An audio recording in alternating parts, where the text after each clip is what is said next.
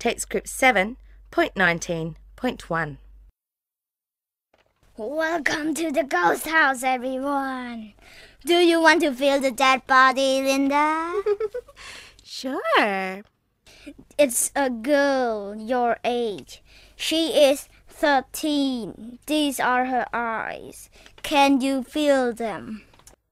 Oh, yuck! Well, they really feel like eyes. These eyes can't see anymore. Okay. Next. This is her hair. Oh, yuck! Oh, it's wet, so Pearl. Yuck! It's curly hair. Guess what this is?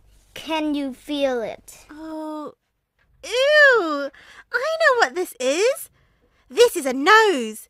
This is a dead girl's nose. This is the nose, but can you guess what these are?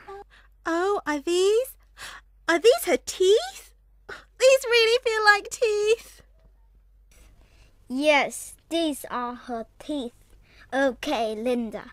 Last one. What's this? Oh, it's long. It's wet too. Ooh, it smells bad. Oh no, it isn't. This isn't her stomach, is it?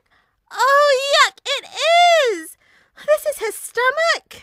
Yes, Linda. This is the dead girl's stomach.